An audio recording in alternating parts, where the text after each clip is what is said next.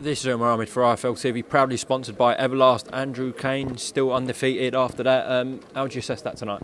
Uh, overall, got the win, so I got what I wanted, but it took me 100%, didn't he? And I'm not, not happy about that, like, but it is what it is. Six rounds, he'd have had no chance. You know, I've said it before, like, but learning curve, eh? innit? You know what I mean? Got four rounds in, so first time I've been four rounds as well, so I'm happy, I'm happy.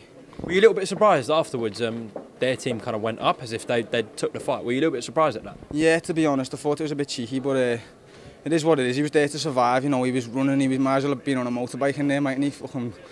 But it is what it is. I, uh, I feel like I could have got him out of there. I was loading up a bit early on, trying to take him out with one punch. So I was a bit, uh, a little bit tired coming into the last, but um, it is what it is. Overall, I got the win, and nice, So I'm happy.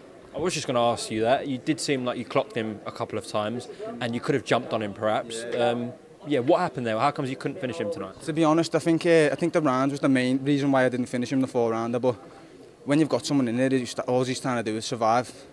You know, it makes it tough, and it made me load up a little bit. So yeah, I've learned, I've learned a lot. I feel like I could have got him out of there as well over the four rounds on another day, but it is what it is, mate, and it's done now. I got the win. On to the next one, innit?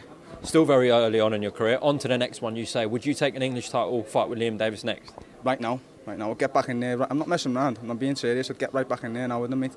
Right now. Dennis McCann, I'd jump at the chance. Jump at the chance. He's got the, uh, he's getting looked after properly. Really, he's got he's got a, a path written out for him, and I'd love to snatch that away from him any any day of the week again.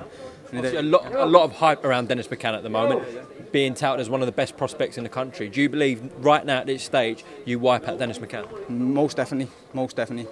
Be a different performance from that. Like I wouldn't probably be going as gun ho as I was, but I'd, I'd, I'd box his head off, get me in there with him, and you'll just see. That's the only way. Any words that I can tell you aren't gonna, not gonna make no difference, are they? Get the fight made, and I'll show you. Is that the message to Frank then? That's the message to Frank, Dennis, whoever else is, whoever else wants to know. Andrew, listen, well done tonight, and uh, let's see if you can get that major fight next. night. mate. Nice one. Well done. See you soon.